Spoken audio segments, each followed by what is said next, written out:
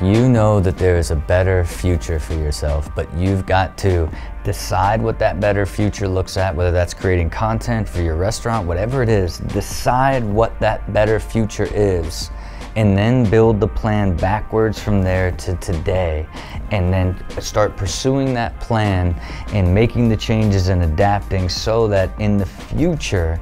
everything that you want your restaurant to be, your content to be, or anything in your life can come true because you put a stamp in the universe and built the plan to actually achieve it.